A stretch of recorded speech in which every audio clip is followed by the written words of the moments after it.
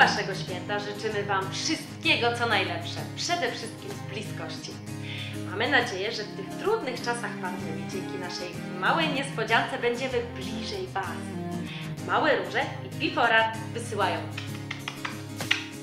całą górę buziaków, uścisków i mówimy do zobaczenia